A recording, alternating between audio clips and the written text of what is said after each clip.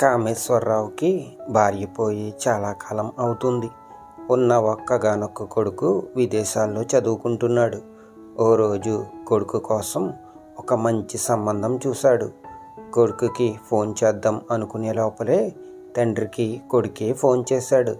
ఒరే నీకు నుండి నూరేలురా ఇప్పుడే నీకు ఒక శుభవార్త చెబుదామని ఫోన్ చేస్తుంటే ఇంతలో నువ్వే ఫోన్ చేశావు అని అన్నాడు. ఏంటి నాన్న అసలు ఆ శుభవార్త అని అడిగాడు కొడుకు. నీకు ఒక మంచి అందమైన అమ్మాయిని చూశానురా. నువ్వు ఇండియాకి రాగానే నీకు పెళ్ళి చేసేద్దాం అని అనుకుంటున్నాను అని అన్నాడు. నాన్న నా పెళ్ళి గురించి మీకు చెబుదామని ఫోన్ చేశాను.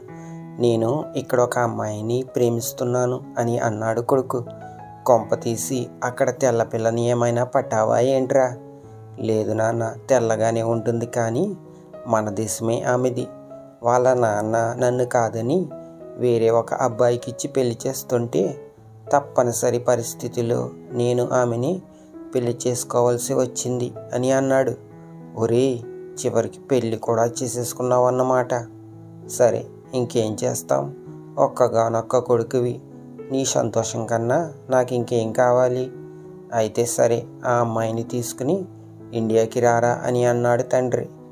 నువ్వు ఇచ్చిన షాక్ నుండి కోలుకోవాలంటే విదేశీ మందు వేయాల్సిందే.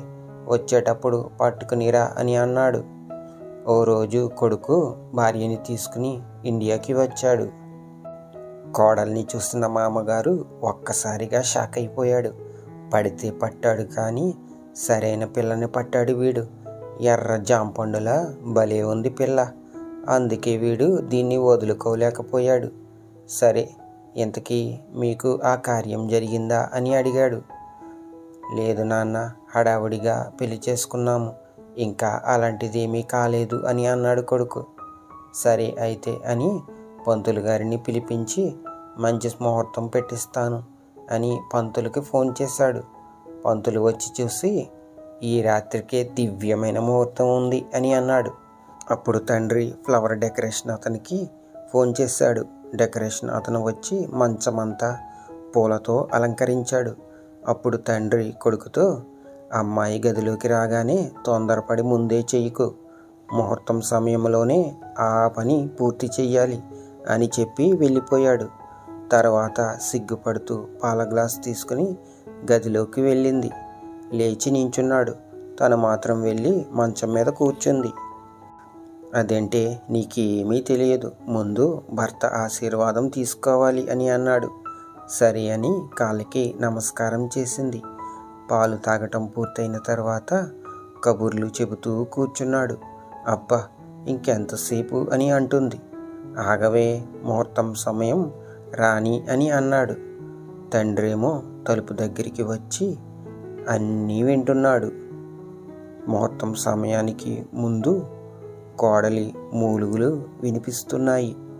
పంతులు పెట్టిన సమయం రాగానే కోడలి నోటి వెంట పెద్ద అరుపు వినిపించింది. అమ్మయ్య మొత్తం మీద సాధించాడు వీడు. వీడికి అన్నీ నా బుద్ధులే వచ్చాయి అని అనుకుని అక్కడ నుండి వెళ్ళిపోయాడు తండ్రి. మరుసటి రోజు ఉదయం పన్నెండు అయినా కూడా ఇంకా తలుపు తెరవలేదు. అప్పుడు తండ్రి వెళ్ళి తలుపు కొట్టాడు. నిద్ర మత్తులో ఆవలిస్తూ చెదిరిన జుట్టు చెదిరిన బొట్టుతో ఉన్న కోడలు వచ్చి తలుపు తీసింది.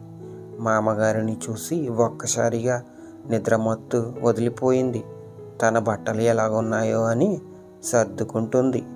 రే మధ్యాహ్నం పన్నెండు అవుతుందిరా లేరా? అని అన్నాడు. అబ్బా రాత్రంతా నిద్ర లేదు నాన్న ఉండు నాన్న కాసేపు పడుకుంటాను అని అన్నాడు కొడుకు. ఆ మాట విని కోడలు సిగ్గుపడుతూ అక్కడి నుండి వెళ్ళిపోయింది.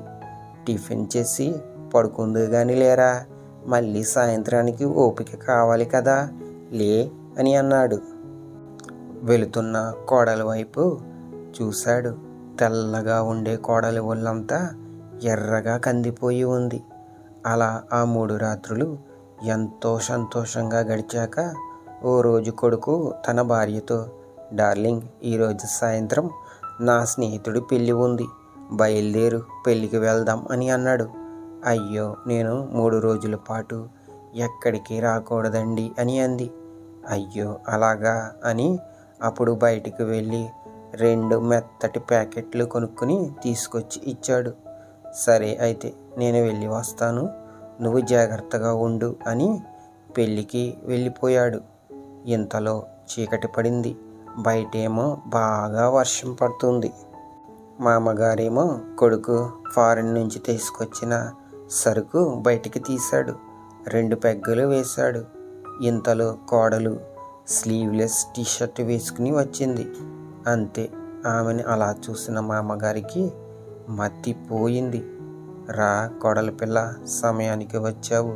రా కంపెనీ ఇవ్వు అని అన్నాడు. నాకు అలవాటు లేదు మావయ్య.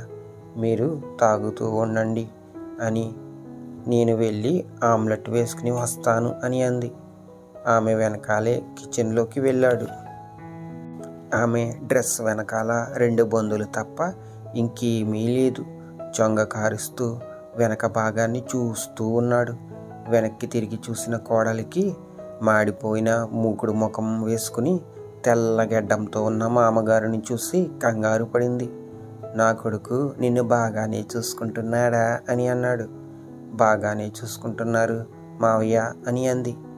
నీకు ఏ లోటైనా సరే మొహమాటం లేకుండా అడుగు నేనున్నానుగా తీరుస్తాను అని అన్నాడు. మావయ్య గారు మీకు బాగా ఎక్కువైంది. పొద్దున్న మాట్లాడుకుందాం వెళ్ళి పడుకోండి అని అంది. బయటేమో బాగా వర్షం పడుతుంది. ఇలాంటప్పుడు నేను ఒంటరిగా ఎలా పడుకోగలను? కాబట్టి అందుకని నువ్వు అని అన్నాడు. అందుకని ఏం చేయమంటారు అని అంది కోడలు. ఇంతకన్నా వివరంగా ఏం చెబుతాను? వాడెలాగో లేడు కదా. నా ఆకలి తీర్చు నీ దాహం తీర్చుకో అని అన్నాడు. భయంతో వెళ్ళిపోతున్న కోడలి చెయ్యి పట్టుకున్నాడు. విడిపించుకుని పరిగెత్తుకుంటూ వెళ్ళిపోతున్న కోడలి వెనకాలే జింక వెనకాల పులిలా పరిగెత్తుకుంటూ వెళ్ళాడు. ఆమె గదిలోకి వెళ్ళిపోయాడు. మధ్య మత్తులో తనను ఆక్రమించి బలవంతం చేయబోతున్నాడు. అప్పుడు విడిపించుకుని పరిగెత్తుకుంటూ పక్క గదిలోకి వెళ్ళి తలుపు గడిపెట్టుకుంది. మామగారికి అమ్మగారికి మత్తు ఎక్కువ అవటంతో అక్కడే నిద్రపోయాడు. మరుసటి రోజు ఉదయం భర్త వచ్చేదాకా తలుపు తీయకుండా ఆ గదిలోనే ఏడుస్తూ ఉండిపోయింది. భర్త వచ్చి తలుపు కొట్టగానే తలుపు తీసి భర్తను గట్టిగా కౌగిలించుకుని ఏడ్చేసింది. ఎందుకే అంతలా ఏడుస్తున్నావు? ఒక్క రాత్రికి అంత బెంగ పెట్టుకున్నావా అని అన్నాడు.